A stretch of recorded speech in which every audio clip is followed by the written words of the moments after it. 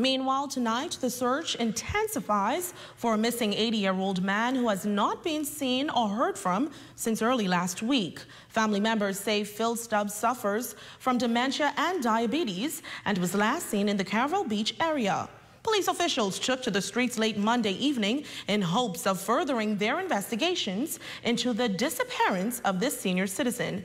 Our Jolanda Thompson Everest joins us live now from the scene. That's right, Azure. 80-year-old Phil Stubbs was last seen in a red T-shirt and blue jeans in the Caravel Beach area. Nine days later, and family and friends' concerns continue to grow while police officials take it to the streets in hopes of bringing 80-year-old Phil Stubbs home. Police officials, including the K9 unit and DEU members, combing through the International Bazaar, exploring the Princess Hotel, and also looking through the bushes. The team hoping to find any clues that can lead them to the latest missing man or anyone who was recently reported missing.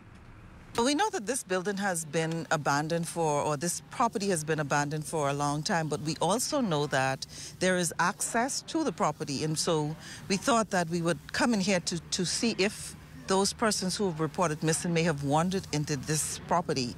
It's a big property, a vast, vast amount of land, and so our team has split up into groups and we have searched every area of this property.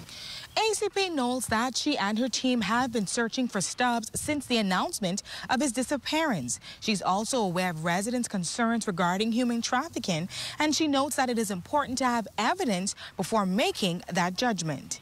Over over years, we, we know that there are a number of persons reported missing um, on from Grand Bahama, and so it is our goal to search, continue to search to see if we can find Mr. Stubbs and the lady who was reported missing in late December.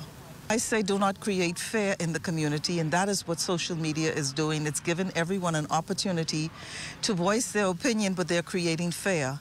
If you have information to suggest that there is some form of human trafficking, then you need to report the information to us. Just today, another flyer recently circulating of 58 year old Richard Smith, who family members are also now reporting missing. Yeah, he's personally been he went missing early part of. We got a report early part of the year, but he had been, he was missing oh, for this some is, six yeah, months prior. before it was reported to the police, and so we, we, we spoke about that again. That uh, these people who uh, family members have not seen for a while, they are not concerned, and for a very long time before they come forward. And like he's saying, it's just I think about more than six months before they actually reported him missing. He's also asking the family and friends of these missing residents to join in on the search party within the relevant communities. Live from the International Bazaar for the Bahamas Tonight, the Northern Edition, I'm Jolanda Thompson Everest.